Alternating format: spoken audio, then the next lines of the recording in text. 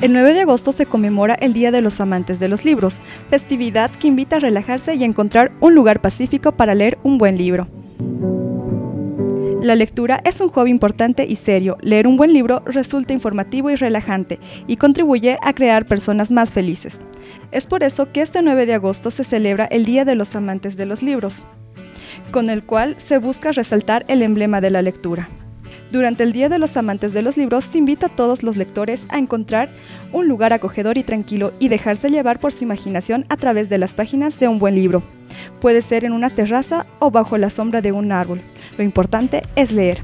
La mayoría de los países celebran esta fecha el 9 de agosto, aunque en algunas partes se conmemora durante el primer sábado de noviembre.